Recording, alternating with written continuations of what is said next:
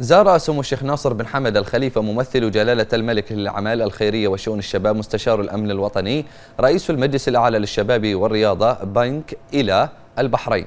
بنك التجزئة التابع لبنك ABC ورافق سموه في الزيارة سعادة السيد أيمن بن توفيق المؤيد وزير شؤون الشباب والرياضة والسيد صائل الوعري نائب الرئيس التنفيذي لمجموعة بنك ABC والسيد محمد المعراج الرئيس التنفيذي لبنك إلى البحرين.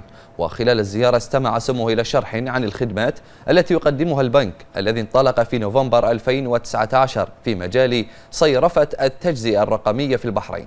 والتي تتمثل في أنموذج عمل رقمي يعمل عبر الهواتف المحمولة فقط ويتبع خارطة طريق تبدأ من البحرين انتقالا إلى دول أو انتقالا إلى دول أخرى بواسطة فريق متمكن من الشباب البحريني.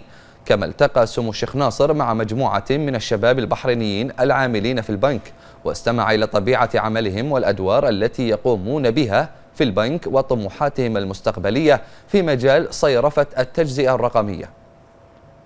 وقد أشاد سمو الشيخ ناصر بن حمد الخليفة بفكرة البنك القائمة على تجربة عصرية قادرة على معالجة التحديات المالية عبر استخدام التكنولوجيا والهواتف الذكية وتسخيرها لتسهيل الإجراءات البنكية والمصرفية. وأشار سموه إلى أن ما يميز البنك أن موظفيه من الشباب البحريني الطامح للمشاركة الفاعلة في عملية الارتقاء بالمملكة.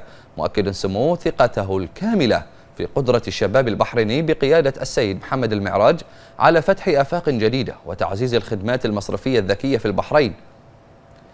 من جانبه عبر صائل الوعري نائب الرئيس التنفيذي لمجموعة بنك ABC عن شكره وامتنانه لسمو الشيخ ناصر بن حمد آل خليفة على دعمه المتواصل للشباب البحريني في مختلف المجالات بما فيها القطاع المصرفي. من ناحيته أكد السيد محمد المعراج الرئيس التنفيذي لبنك إلى أن زيارة سمو الشيخ ناصر بن حمد آل خليفة تجسد رؤية حضرة صاحب الجلالة عاهل البلاد المفدى والسعي لتحقيقها وتطوير الاقتصاد الرقمي القائم على المعرفة في مملكة البحرين.